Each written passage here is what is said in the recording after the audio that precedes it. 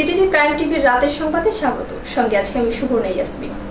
শুরুতেই সংবাদ শিরোনাম। করোনায় আক্রান্ত কমেছে মৃত্যু বিয়াল্লিশ। কুরিয়ারের মাধ্যমে কুড়িগ্রাম বন্যা কবলিত এলাকায় ত্রাণ ও নগদ অর্থ পাঠালেন উদ্ভাবক মিজান। করোনার এক হাজার তিনশো কোটি ডোজের জন্য তিন প্রতিষ্ঠানের সঙ্গে চুক্তি ব্রিটেনের। শুনছিলেন সংবাদ শিরোনাম, এবার বিস্তারিত। দেশে গত চব্বিশ ঘন্টায় করোনা ভাইরাসে আক্রান্ত হয়েছে দুই হাজার সাতশো চৌচল্লিশ জন। এ নিয়ে মোট আক্রান্ত হল দুই লাখ তেরো হাজার দুশো চুয়ান্ন জন। নতুন করে মৃত্যু হয়েছে বিয়াল্লিশ জনের।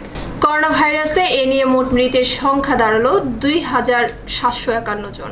আক্রান্তের মধ্যে নতুন করে সুস্থ হয়েছেন এক হাজার আটশো পাঁচ জন। এ নিয়ে মোট সুস্থ হওয়ার সংখ্যা দাঁড়াল এক লাখ সতেরো হাজার দুইশো দুই জনে।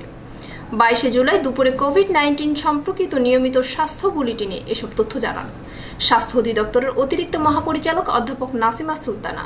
তিনি জানান, গত চব্বিশ ঘন্টায় বারো হাজার পঞ্চাশ জনের নমুনা পরীক্ষা করা হয়। এর আগে মঙ্গলবার নতুন করে তিন হাজার সাতান্ন জন করোনা রোগী শনাক্ত কথা জানিয়েছেন স্বাস্থ্য অধিদপ্তর। এদিন মৃত্যু হয়েছিল একচল্লিশ জনের। দেশ সেরা উদ্ভাবক যশোর সারসার কৃতি সন্তান পরিবেশ প্রেমী সমাজসেবক ও মানবতার ফেরিওয়ালা মিজানুর রহমানের ব্যবস্থাপনায় কুড়িগ্রাম বন্যা কবলিত মানুষের মাঝে এবার কুরিয়ারের মাধ্যমে ত্রাণ ও নগদ অর্থ পাঠালেন। শাসা প্রতিনিধি মোহাম্মদ নয়ন সর্দারের রিপোর্টে। শুকনো খাবার হিসাবে মুড়ি, চিরা, গুড় ও মাস্ক পাঠানো হলো। আবু তোরা যুব সংঘের পক্ষে অর্থায়ন করেন সংগঠনের অর্থ সম্পাদক জনাব মোহাম্মদ ফরহাদ হোসেন। সোমবার বিকেলে ত্রাণ তহবিল গঠন ও খাদ্য সামগ্রী ক্রয় করা হয়। রবিবার সে সমস্ত অর্থ ত্রাণ সামগ্রী কুড়িগ্রামের উদ্দেশ্যে রওনা করবে। এ সময় উপস্থিত ছিলেন আজমির নয়ন মোহাম্মদ ফরহাদ হোসেন, মোহাম্মদ বাদল হোসেন সহ অন্যান্য স্বেচ্ছাসেবী সংগঠনের সদস্য ও সিটিজি ক্রাইম টিভির শার্শা প্রতিনিধি নয়ন সর্দার, উদ্ভাবক মিজান বলেন। আমরা আজকে কুড়িগ্রাম বন্যায় বানভাসী মানুষের মাঝে শুকনো খাবার পাঠানোর উদ্যোগ নিয়েছি। আমরা তারই অংশ হিসাবে আজকে প্রথম খাবার পাঠাচ্ছি।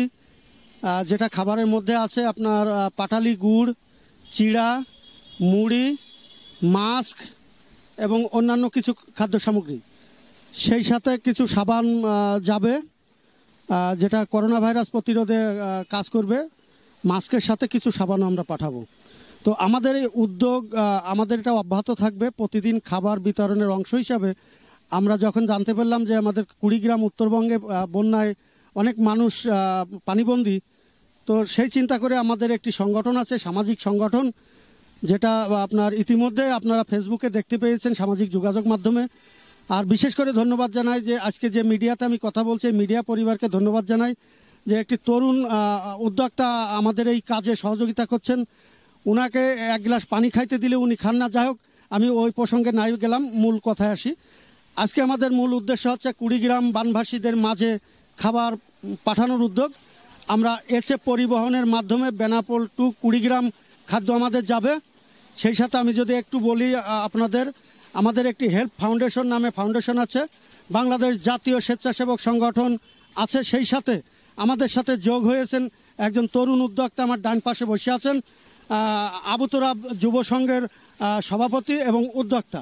তা এই আমাদের এই কাজে ওনারা সার্বিক সহযোগিতা করছেন, আর্থিক বলেন শ্রম বলেন, যেখানে ডাকছি সেখানে যাচ্ছেন আমার সাথে। আমি এই ধরনের সংগঠনকে সারা দেশ থেকে ডাক দিয়েছি।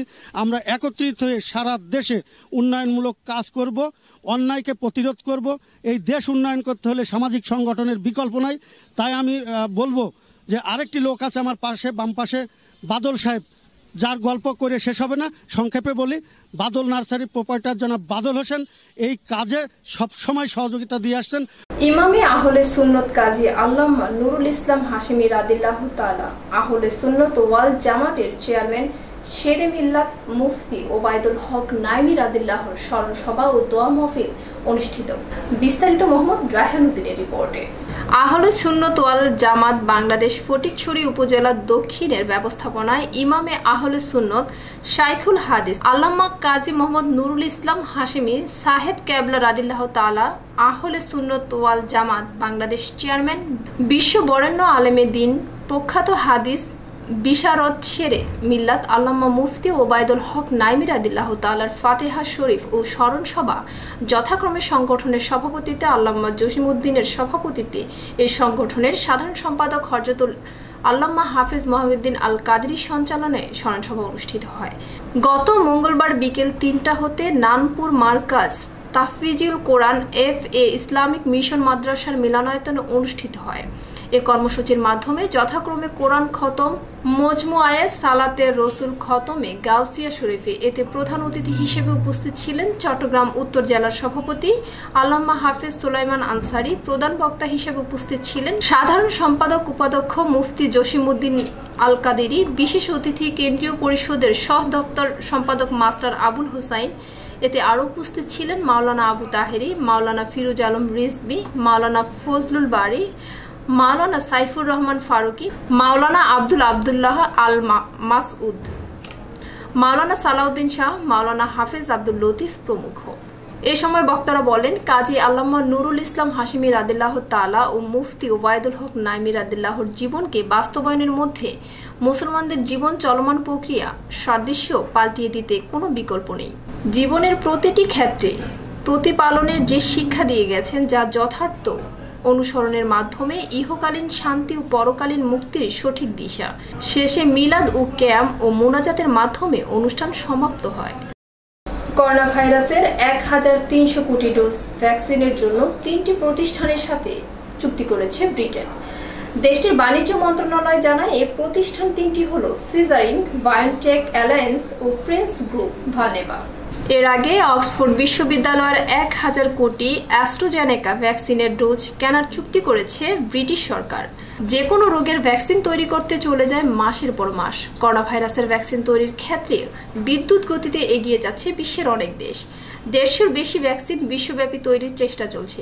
এরই মধ্যে বিশটির মতো ভ্যাকসিন মানুষের উপর পরীক্ষামূলক প্রয়োগ চলছে। কিন্তু বিশেষজ্ঞরা আর ফার্মাসিউটিক্যাল ফার্মাগুলো বলছে, দুই হাজার একুশ সালের আগে কোনো কার্যকর ফলাফল পাওয়া যাবে না।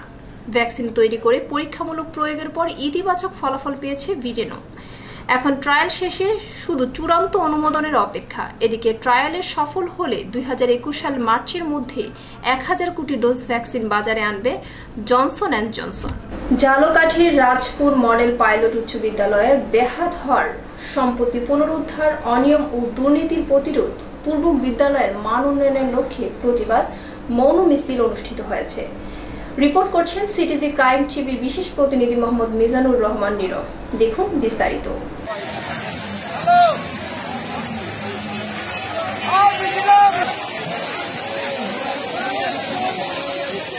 এতক্ষণ আমাদের সাথে থাকার জন্য ধন্যবাদ। আমাদের পরবর্তী সংবাদ দেখার আমন্ত্রণ জানিয়ে এখানে শেষ করছি। আল্লাহ সিটিজি প্রাইম টিভির চেয়ারম্যান আজগর আলী মানিক দৈনিক সরজমিন বার্তার নির্বাহী সম্পাদকের দায়িত্ব গ্রহণের পর থেকে তিনি প্রতিদিন কাগজ বের করেন। তিনি আজকে মিটিং শেষে নিজ দায়িত্বে দাঁড়িয়ে থেকে সরাসরি নিজে দৈনিক সরজমিন বার্তা পত্রিকা বের করছেন। প্রেসে গিয়ে নিজে উপস্থিত থেকে মেশিন থেকে পত্রিকার প্রকাশনা লক্ষ্য করছেন জনাব আজগর আলী মানিক